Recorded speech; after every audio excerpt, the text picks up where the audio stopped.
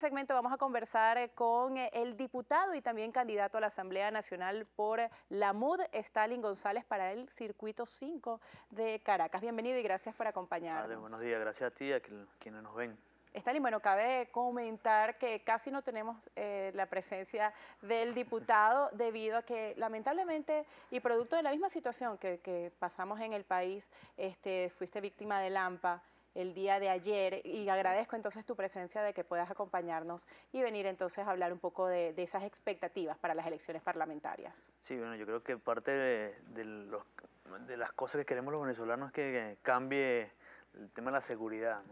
Aquí todos somos víctimas de la seguridad, no importa quién sea, y necesitamos una asamblea que se dedique a ese tema, ¿no? Y yo creo que hay que hablar con claridad. La asamblea no va a resolver el problema de la seguridad, pero tiene que aportar soluciones. La asamblea tiene que ser un centro del debate, de la discusión. O sea, el problema de la, inseguridad en Venezuela es, es, un problema, no lo puedes ocultar. Y el gobierno lo que se ha dedicado es ocultar cifras, a no dar información, a que no hay eh, rendición de cuentas sobre ese tema cuando todos los venezolanos estamos siendo víctimas. Yo creo que aquí el llamado es que al gobierno uno asuma su papel y que los venezolanos tenemos la oportunidad de poder, en el 6 de diciembre, de poder tener una nueva Asamblea Nacional, una Asamblea que, que, construya, que dé soluciones, que aporte y no que sea el ring de boxeo que ha sido los últimos años. Yo creo que ese es una de las prioridades que debe tener la nueva Asamblea Nacional y desde la unidad es una de las prioridades tocar el tema de la seguridad, aportar soluciones y buscar una salida a ello. ¿Cuáles serían estas soluciones, tomando en cuenta eh, que actualmente eres eh, precisamente diputado de la Asamblea Nacional del tema o la Comisión de Seguridad? Eh, ¿Cuáles han sido o, han sido suficientes, han sido efectivas las respuestas que se le ha dado en su gestión al tema de la seguridad? ¿Y cuál es entonces la expectativa que pueden tener los electores de que eso cambie? Mira, nosotros, sí, claro, la, la, bancada de la unidad, durante estos cuatro años y medio, nosotros hemos llevado el tema, hemos propuesto que se discuta el tema de la seguridad y ha sido imposible que la bancada del gobierno acepte ello. Durante estos cuatro años y medio, la Asamblea Nacional solo ha tocado el tema de la seguridad para discutir la ley de desarme. Ley de desarme que se fue aprobada unánimemente por toda la Asamblea, pero que no se le hizo seguimiento. Nosotros nos hubiese gustado, por ejemplo, que este año pedimos que fuera el ministro de Interior y Justicia a rendir cuentas. Estamos hablando que se han anunciado 23 planes de seguridad en Venezuela y no hay resultados claros. Una, asamblea que cumpla su función debería pedir que vayan los funcionarios a ver en cómo se están gastando esos recursos, por qué las cifras siguen aumentando, por qué se, disminuyen los planes que se anuncian. Ahora se anuncia un nuevo plan que es este, el de la OLP, pero son como efectistas, ¿no? no hay una política cotidiana, cuál es el papel de la Policía Nacional después que se hizo todo ese anuncio de la nueva Policía Nacional.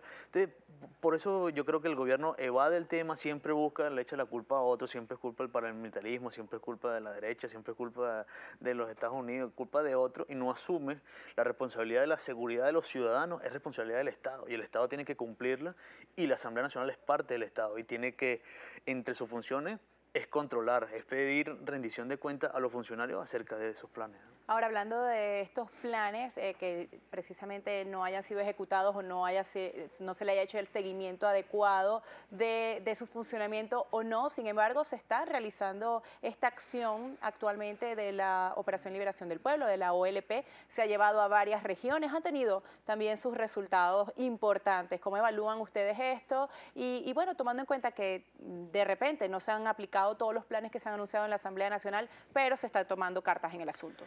Yo creo que lo más importante es, una, la pregunta para quienes nos ven, ¿nos sentimos los venezolanos más seguros con, esta, con estos planes? ¿Ha cambiado la inseguridad en Venezuela con estos planes? ¿Nos, ¿Ha disminuido la cantidad de homicidios? Ha disminuido la cantidad de robos, de hurtos. O sea, el problema es que se anuncian planes y todo siempre es un show mediático para... Pero de verdad, de verdad, los venezolanos nos sentimos más seguros. De verdad el Estado venezolano está cumpliendo con su función. O sea, de verdad nosotros podemos salir a caminar en la calle después de las 6 de la tarde y no nos va a pasar nada. Se pueden montar en el metro y no te van a robar. Puedes tener tu casa tranquila no van a entrar. Ese es el, problema. No es un tema de, de anunciar planes, sino que sean efectivos esos esos planes y que el Estado venezolano debe asumir eh, su responsabilidad, debe atacar el problema, debe hacer de esto un tema para, de integración de todos los venezolanos y no politizarlo como siempre lo hace y que los venezolanos merecemos vivir mejor. Nosotros no nos merecemos vivir encerrados en nuestras casas, no nos merecemos vivir en cola haciendo eh, cola para comprar comida.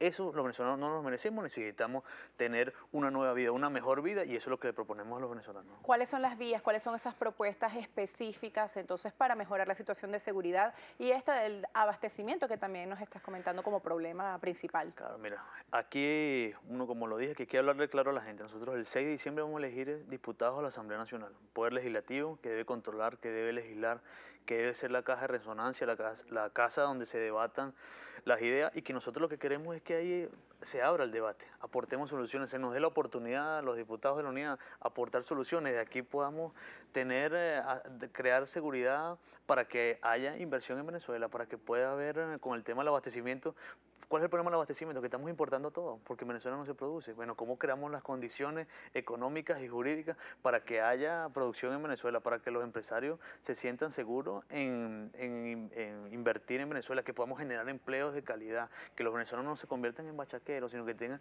sean, puedan tener empleos de calidad con remuneraciones estables, que puedan tener seguridad social, que podamos tener sistema de salud que hoy no tenemos eso desde la Asamblea Nacional podemos aportar soluciones, podemos abrir el debate, construir leyes y todo el ordenamiento jurídico, revisar el que está para dar las soluciones a, lo que está. Lo que ocurre hoy es que la Asamblea Nacional no hace nada. Si algo podemos tener en común todos los venezolanos es que el balance legislativo de este periodo de la Asamblea Nacional ha sido negativo.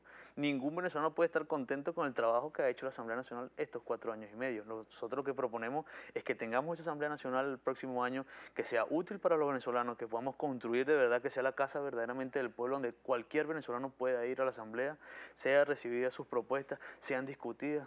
Desde la unidad hemos llevado miles, cientos de, propuestas de ley y ninguna se discute. Hemos propuesto debates ninguna se discute. Aquí la, nueva mayoría en la Asamblea Nacional tiene que ser para construir una, una asamblea equilibrada, una asamblea que cumple con su función, una asamblea donde todos los venezolanos se sientan representados sin importar su idea, su pensamiento, su partido.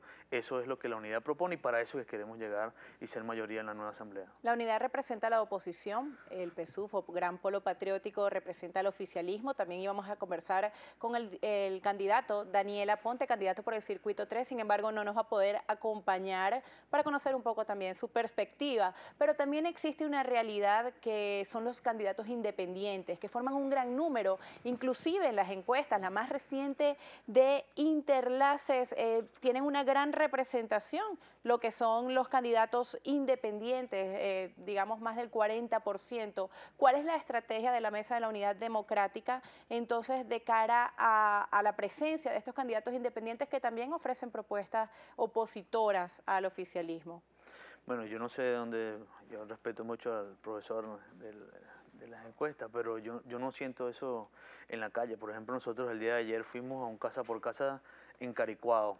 Eh, visitamos más de nueve, creo que once bloques de, de Caricuado y ahí mucha gente que salía que había sido, que apoyaba al oficialismo, lo que quiere es un cambio y lo que quiere es que los venezolanos los escuche y que, que se siente representado en una, una, propuesta alternativa y que la unidad está trabajando para ello. La unidad en todas las encuestas que está sale como favorito esta elección. Yo soy de los que creo que uno no puede confiarse a ello y tenemos que ir eh, al cara a cara, a, casa por casa, a buscar, a escuchar a la gente. Ayer cuando escuchábamos y eh, hacíamos esa visita, íbamos con Tomás Guanipa y con Ible Silva, que es el candidato a, suplente, lo que decía la gente era uno, que quería cambio, dos, que no quería seguir haciendo cola, que quería llegar temprano, llegar a su casa y no sentirse que lo iban a robar. Tú ibas a todas las casas y todo el drama era el mismo, que había que, el familiar había salido a hacer la cola, estaba pendiente que si el hijo había llegado o no del, del día anterior porque era viernes. Entonces, yo no, yo creo que aquí los venezolanos quieren un cambio, tenemos unas ganas de cambiar y que aquí el problema no es que si la unidad representa o la oposición, no, aquí nosotros queremos representar al país y que juntos vamos a lograr transformar a la, a la Asamblea Nacional y que este país lo que tenemos que devolver es que estemos unidos, que podamos, a pesar de nuestras diferencias, construir un país donde podamos vivir en paz, donde podamos vivir tranquilamente sin que nadie nos esté persiguiendo. La unidad acepta a estos candidatos independientes.